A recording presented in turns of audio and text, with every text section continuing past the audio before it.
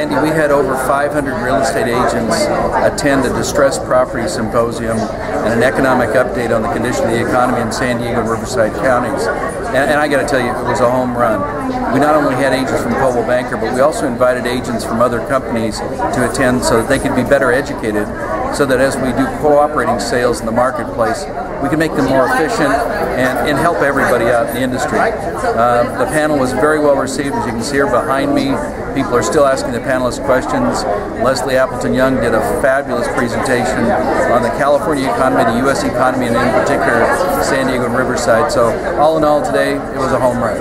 Well, great. Thanks a lot for uh, hosting this, and uh, looking forward to seeing many more events just like it. Watch for more coming, Andy. All right. Thank Film you. at 11, right? Film at 11. All right, thanks.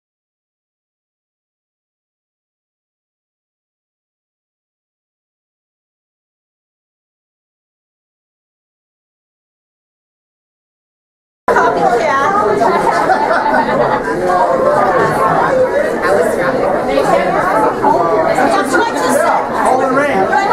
They definitely said you're gonna wake up tomorrow. This is well, I He's hosting this entire event.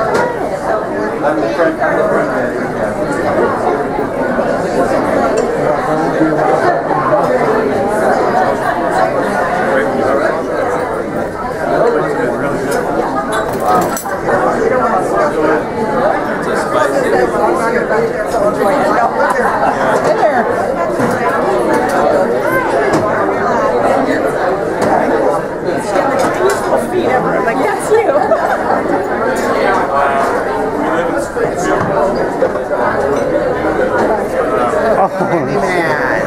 the Andy can. Oh, really?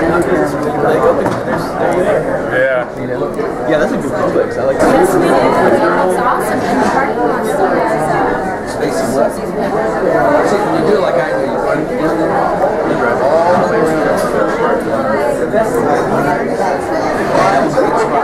Hi, Teresa. Hey Andy, how are you? How are you? Starting to get crowded again. Getting even closer now. It's about 10 minutes to 9. We're starting at 9 o'clock.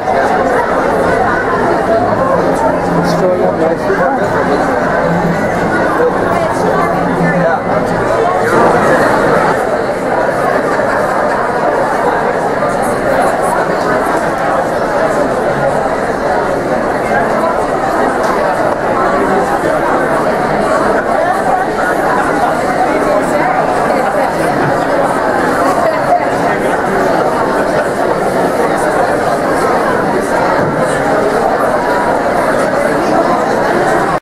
nicely. One is consumer back, they're deleveraging, they're paying off debt, they're concerned about their jobs, their confidence is waning.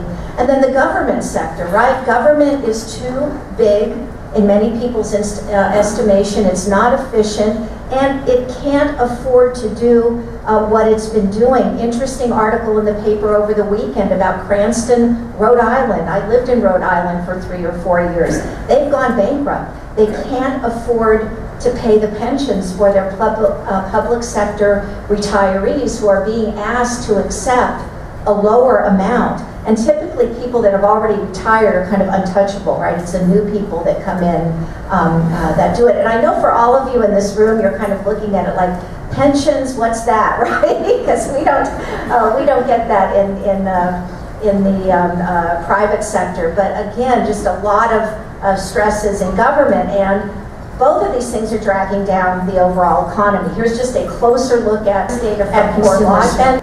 30.2% of the mortgages in California are underwater. Another 4.6% are almost underwater. Uh, nationally, uh, the number is about one in five. Uh, in states like Florida and Nevada, the percentages are higher. And within California, you have a lot of uh, a lot of variation as well. I think in Sacramento, as an example, it's 41 percent. Um, uh, 41 percent of the of the mortgages. the other big issue is um, is unemployment. So the unemployment rate in September nationally was 9.1 percent. It's been above nine for most, but not all, of the last three years. In California, we're about 300 basis points higher Uh, We've been above 12% for most of uh, the last uh, three years.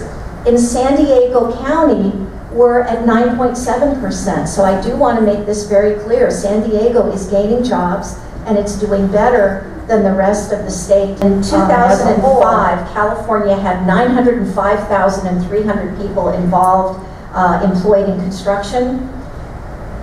In July of this year, it was 567,300. So county by county, the more of your employee, the more of your employment share that was in construction, obviously. All right, let's get into the uh, California market and the local market. Um, this is just a compare and contrast of the last couple of cycles.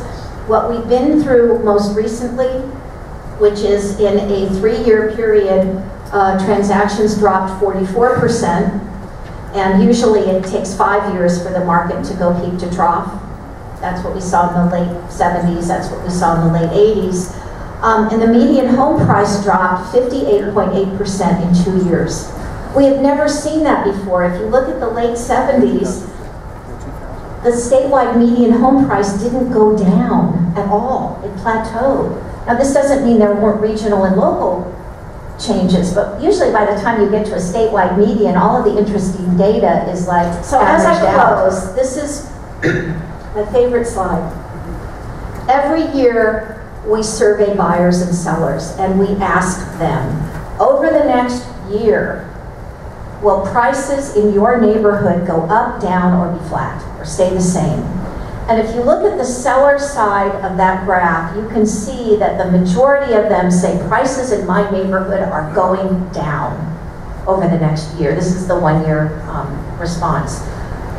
Some said flat, a small percentage said up, but very negative, right? They were sellers, they were underwater, it was painful, they're happy to be through it. Look at the buyers. None of the buyers said down. Most of the buyers said unsure, flat, or up. What's going on? This is my take. The buyers don't care.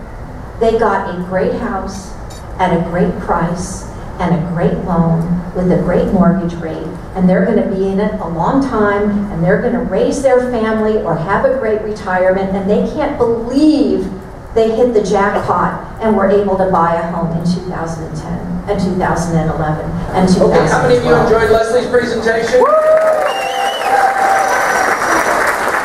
Leslie, thank you for getting up at 4.30 in the morning and coming down to see your San Diego friends. All right, anytime. Um, now we're going to proceed with our next part of the program, which is the discussion with our lenders on short sales. And to be able to facilitate that, in, uh, for those of you who are from other companies and not from Coldwell Banker, uh, we have a person in our company who is very valuable to us.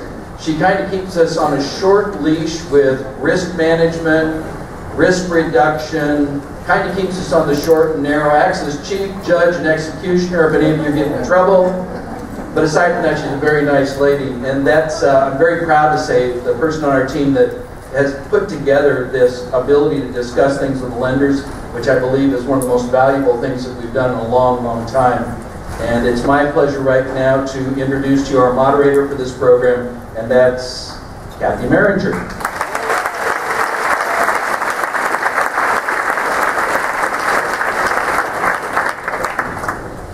Everything was fine until the executioner part. I'm not sure, I'm not sure where that came Ladies, don't be afraid. It's okay. Well, welcome everybody. I'm so glad to see so many of you here. And I, I was so pleased to know that uh, Rick and Marty and our team in San Diego opened this up to the entire real estate community because I think that's a huge step forward. Um, we wrote Coldwell Banker, being we wrote our first short sale program in 2006. So we were a little bit early coming out with this. And I'll tell you my favorite story. I was in Orange County uh, in an area called Newport Beach. And this was in the end of 2006, so the fall.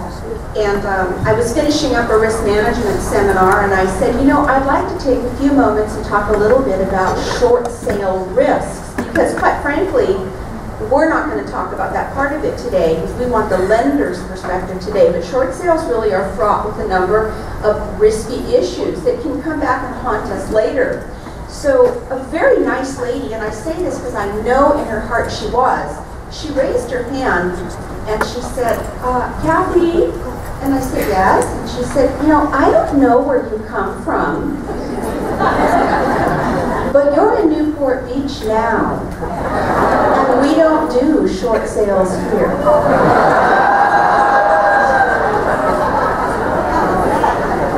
That was then, girl, you know it. And they are doing short sales now, and I think it's because of her, quite frankly.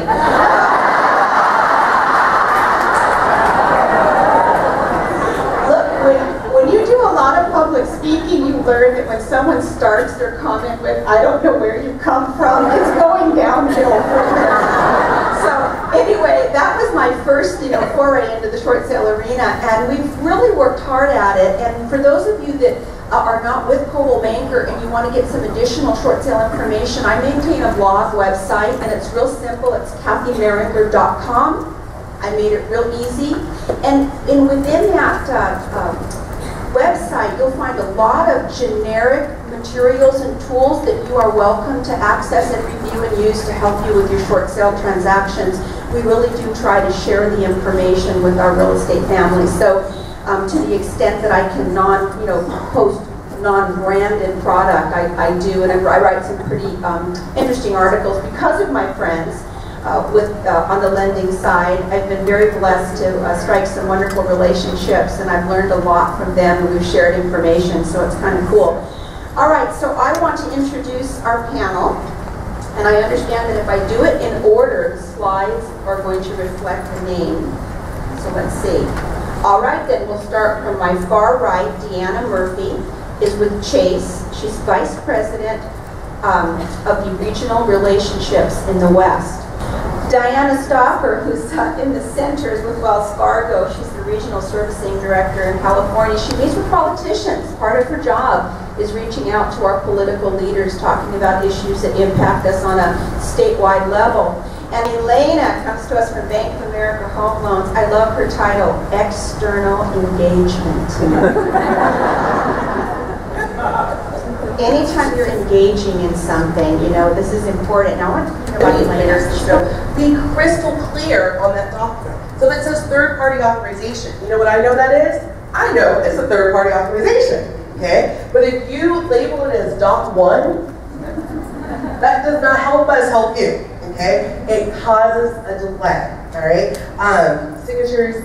The other thing I'll say when it comes to pay stubs as well, the whole drink of choice, still collect financials. Okay, depending on the, the, the, program that a homeowner might be able to utilize, if it's a streamline, with us, we, we may not need financials. Here's the thing, agents that are killing it in short sales, when I say killing it, I mean they're, they're closing multiple short sales consistently, okay? They have a very systematic approach to short sales because they have a high number of short sales they're working on. When it comes to financials, one of the things that they do outside of asking the probing questions with their homeowners up front to determine is this a viable client that I'm going to spend my time, money, and sanity with. They say, how often do you Time this off right Every- now, but I'd like to say thank you, ladies. It was very informative. Thank you, Kathy, for putting it all together. And if any of you have any questions you'd like to talk to Janice individually right now, that's great. How many